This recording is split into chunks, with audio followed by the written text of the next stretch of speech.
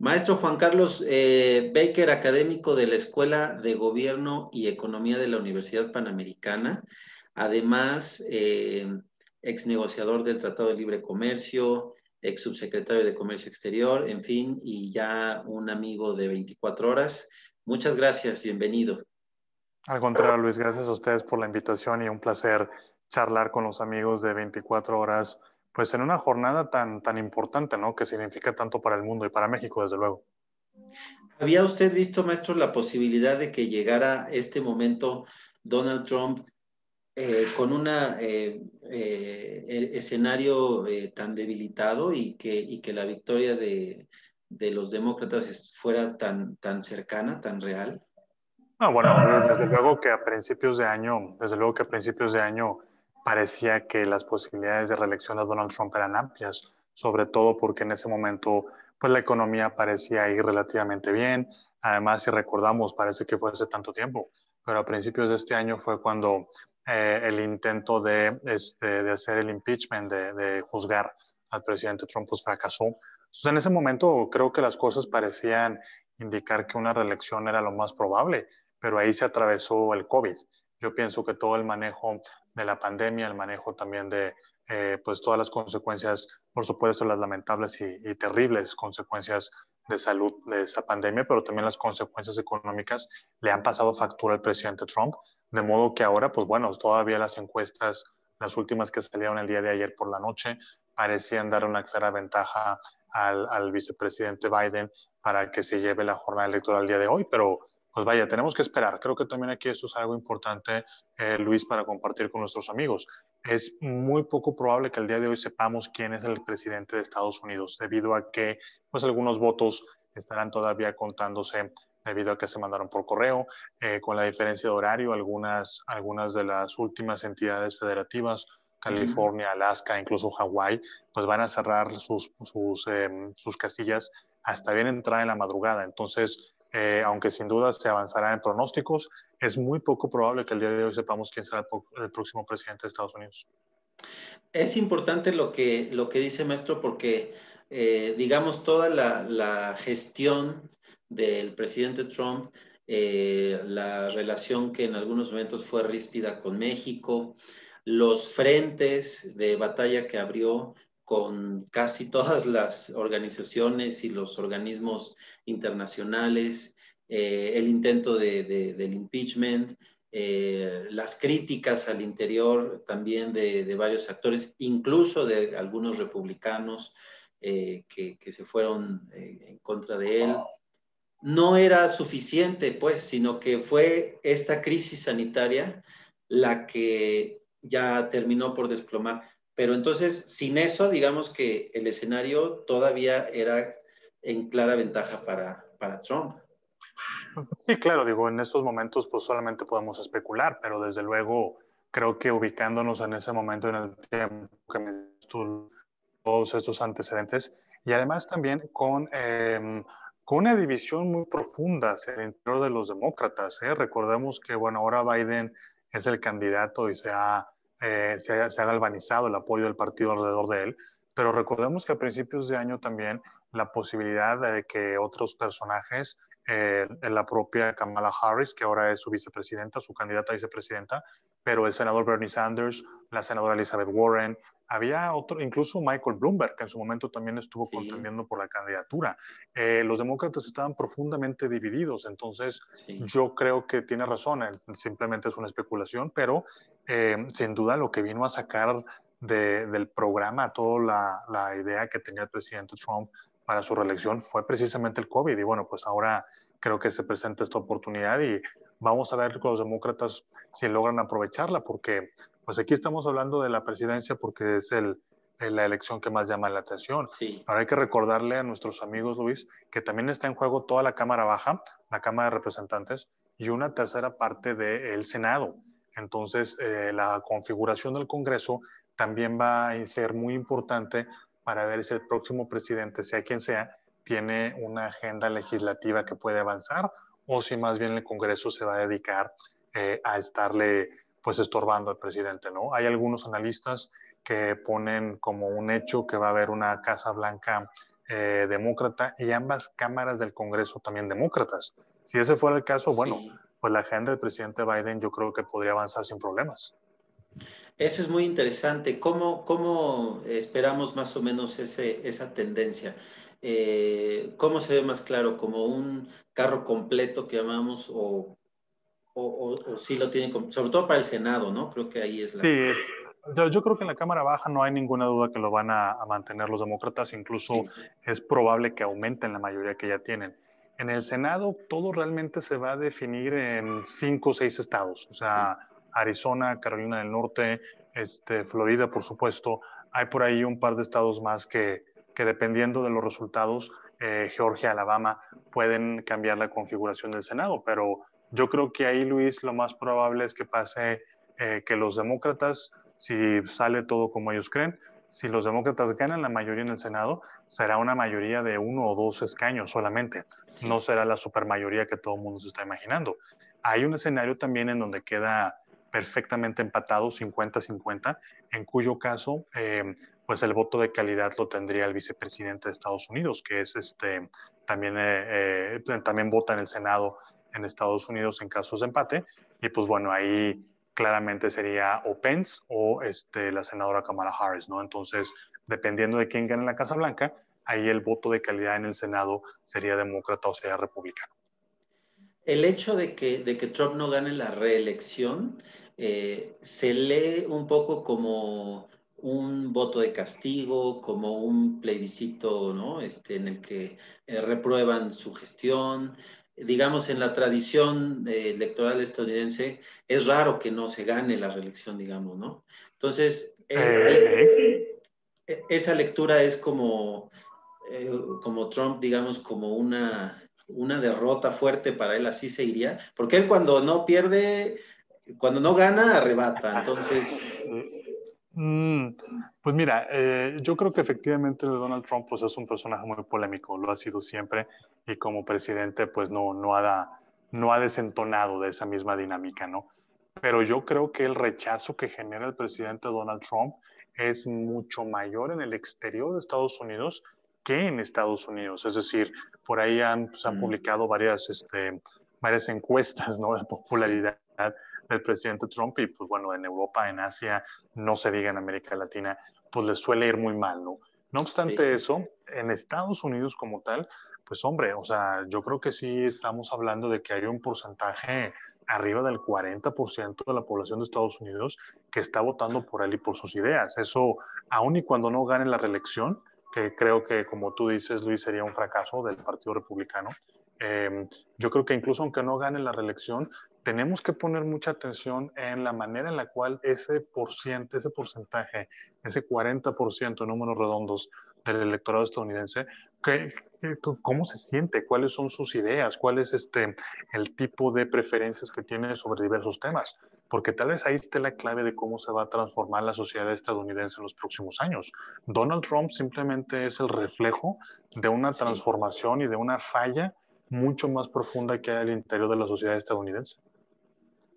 Eh, maestro, en su experiencia en, los, en, las relaciones bilaterales, México debería estar eh, contento si gana Trump, si gana Biden, ¿qué nos conviene más? ¿Por qué?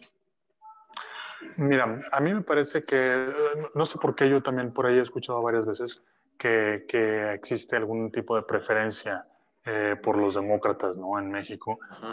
la verdad es que yo creo que Estados Unidos independientemente del partido que esté gobernando, pues tiene una agenda muy clara hacia México. En caso de que el presidente, en caso de que Biden gane y se convierta en presidente, yo creo que la relación bilateral va a cambiar, por supuesto, en muchos temas, incluyendo, bueno, desde el tono, ¿no? O sea, yo no me imagino al vicepresidente Biden poniendo un tweet diciendo las cosas que Trump ha dicho de México, ¿no? Y eso en sí es muy bueno. Creo que también el tema migratorio, el tema de seguridad, el tema de narcotráfico, cambiará porque los demócratas simplemente tienen otra agenda. Eh, me parece que en temas económicos y en temas comerciales la relación sería prácticamente igual. Yo no veo una diferencia en la plataforma de los demócratas o de los republicanos, por ejemplo, respecto al TEMEC. Se va a seguir este, presionando nuestro país para un cumplimiento muy estricto de los estándares laborales, de los estándares ambientales, eh, lo que se negoció en el último TEMEC. Entonces te diría que, te diría que eh, una elección de Biden eh, cambiaría por mucho la dinámica, la naturaleza, la tónica de la relación, que incluso en algunos temas puede ser positivo. En tema económico, en tema comercial, yo no veo ninguna diferencia. Por supuesto, si gana Trump, pues ya sabemos cómo, ya sabemos cómo, pues ahora sí que cómo se las gasta el señor, ¿no? Pero más de forma que de fondo, entonces, ¿verdad? Sí, sí, desde mi perspectiva sería así. Además, también hay que recordar una cosa, em, independientemente de quién gane, pues yo creo que la agenda que México ha impulsado en materia de relaciones internacionales, en materia bilateral, pues es una agenda que, pues que privilegia, aunque suene un poquito, un poquito contradictorio, privilegia los temas internos. O sea, el presidente López Obrador solamente ha viajado una vez al extranjero y fue a Washington. Entonces, eh, no creo que podamos esperar que a raíz de que la elección en Estados Unidos cambie la Casa Blanca o no, pues no podemos esperar un mayor activismo de parte de México en materia, en materia internacional. Eso no, no va a suceder. ¿Y es relevante eh, para América Latina, por ejemplo? También, pues mira, Biden, Sí, este, bueno, aquí nos enfrentamos con una cosa muy importante. Yo creo que si gana Biden la presidencia, Biden va a dedicar una buena parte de sus primeros años a recomponer mucho de lo que mm. se ha afectado la imagen de Estados Unidos en el mundo. Es decir, eh, pues qué hacer en Europa, volver a tratar de ponerle un freno a, a las actividades de Rusia, no se diga también la amenaza que representa China para Estados Unidos, eh, reafirmar a los socios de la OTAN, entonces creo que más bien la pregunta es, en una, en una hipotética administración del presidente Biden, si va a tener tiempo o no para dedicarse a la América Latina. Eh, desde luego habrá algunas cosas que, que, pues, que siempre se tienen que hacer. Yo creo que eh, Biden seguramente se va a dedicar mucho a Cuba. Acuérdémonos que, con la, que cuando él era vicepresidente con Obama, fue que se restableció las relaciones diplomáticas con Cuba y luego eso se mandó a la congeladora. Entonces seguramente Biden querrá rescatar esa parte. Creo que también el tema de Venezuela tendría un enfoque completamente diferente en una presidencia de Biden. Por supuesto México, que ya lo comentamos, ¿no? Em, pero este, yo creo que la pregunta ahí con una presidencia de Biden sería, entre toda la cantidad de temas que tiene que resolver, ¿qué lugar ocuparía América Latina? más allá de estos tres lugares evidentes que platicábamos, ¿no? Cuba, Venezuela este, y México. Centroamérica por el tema migratorio, seguramente. Biden eh, tiene más experiencia en América Latina que lo que tiene Trump. Yo creo que en una presidencia de Trump veríamos exactamente la misma dinámica que hasta ahora, que pues prácticamente no ha habido una política exterior de Estados Unidos hacia, hacia la región. ¿eh? Bueno, y no por nada eh, las acusaciones que hace tan persistentes de relacionar a Biden con la extrema izquierda, ¿no? Y con los grupos antifa y todo eso. Eh, bueno, es importante también, ya por último, este maestro, muchas gracias por el tiempo, la figura de eh, los vicepresidentes, por ejemplo, Kamala Harris le inyecta ahí cierta, cierto vigor, ¿no? Cierta fuerza y algunos temas específicos eh, eh, de género y, de temas como el aborto, en fin, a los demócratas, a Biden en particular, que, eh, que le critican mucho también pues la figura, ¿no? Que le faltó ahí como fuerza. Eso también impactaría, no, a lo mejor ahorita, pues, pero en el mediano plazo o en el largo plazo, usted lo ve que pueda hacer ahí, porque sería el presidente de ganar más longevo que, asume, ¿no? A los 77. Sí, sin duda, sin duda. Yo creo que sobre todo para, en este caso, Kamala Harris, em, tenemos que seguirla muy de cerca. Primero porque obviamente su condición de afroamericana, su condición de mujer, la primera vicepresidenta este, que, tomaría esa, ese lugar en caso de que gane, eso en sí ya lo hace un personaje muy influyente y muy importante para que, para que lo sigamos, ¿no? Pero además de eso, para el caso de México en particular, pues Kamala Harris viene de California. Es un lugar en donde, pues naturalmente existe una relación entre México y California, que es hogar de muchos paisanos de nosotros. Además de eso, eh, la, la, la, la, candidata a vicepresidenta Kamala Harris tiene una agenda muy progresista, una agenda de minorías, una agenda de energías limpias, una agenda también de integración, lo cual, bueno, pues este, en nuestro país, pues parece que, que la agenda esa va para otro lado, ¿no? Entonces, Eh, como tú ya lo mencionabas, Luis, en caso de que Biden gane, va a ser el presidente más longevo. Eh, no sé si se llegaría a reelegir, quién sabe. O en una de esas, como algunas personas que he escuchado mencionan, pues si se llega a morir mientras está en la Casa Blanca, eh, pues Kamala Harris automáticamente se convierte en la figura líder del Partido Demócrata, ¿no? entonces sí, es importantísimo seguirla. Yo creo que ella va a tener eh, muchas posibilidades de dar a conocer sus propias ideas, sus propias posturas respecto de ciertos temas. Y hay que seguirla porque ese es el futuro del Partido Demócrata. ¿eh? Eh, ahora sí, ya por último, doctor, ahorita que mencionaba lo de las energías limpias, porque también Biden ha, promocionado mucho el tema de, las energías limpias, en fin, que ha, que ha, preocupado, por ejemplo, a los empresarios y a todo esto, ese sector de, de Estados Unidos. Y ahí no, no sé si habría algún impacto a México también en el tema del, porque él también es muy cercano a los sindicatos, todo esto que ya está, digamos, acordado en el, en el tratado comercial, pero a lo mejor ahí podría eh, significar, o lo que se ve que podría lo que interpretan, que podría significar un castigo para, para la industria estadounidense y por lo tanto para, para el intercambio mexicano también, pero no, no sería así, usted creo que no lo, no lo ve así. No necesariamente así, o sea, yo lo que creo es que los demócratas cuando aprobaron, cuando el TEMEX se aprobó con votos demócratas eh, en el Congreso de Estados Unidos, pues automáticamente se convirtió en un tema también de importancia para ellos. Entonces, eh, por eso decía yo unos comentarios antes que, que, a mí me parece que una presidencia de Biden va a tener exactamente la misma actitud respecto del TEMEC y, y, hacia México en temas comerciales, que es exigir el cumplimiento de los compromisos. El presidente Trump a lo mejor lo hace pues en temas más tradicionales o energías más tradicionales como el petróleo. Acá la presión a lo mejor de los demócratas vendría por energías limpias, no por petróleo. Pero la presión va a ser exactamente la misma porque los compromisos están, ahí, están ahí incorporados. Algo que sí es interesante es que, eh, ¿qué, pasaría? Ahorita estamos hablando del TEMEC y de esas obligaciones, pero algo que es muy interesante es ver qué pasaría si el presidente Biden, si es electo presidente, si regresa a Estados Unidos al Acuerdo de París. Eso también es importante porque pues automáticamente implicaría una serie de legislaciones, una serie de regulaciones que van a hacer más caro hacer negocios en Estados Unidos, porque la energía limpia pues en estos momentos todavía es más caro. Entonces, ese efecto en la competitividad hay que ver cómo nos pega. ¿eh?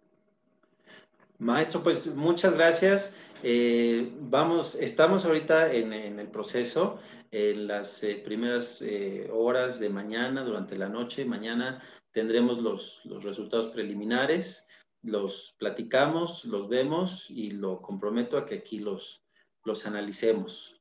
Por supuesto que sí, me va a dar mucho gusto. Muchas gracias, maestro, que esté muy bien. Hasta luego.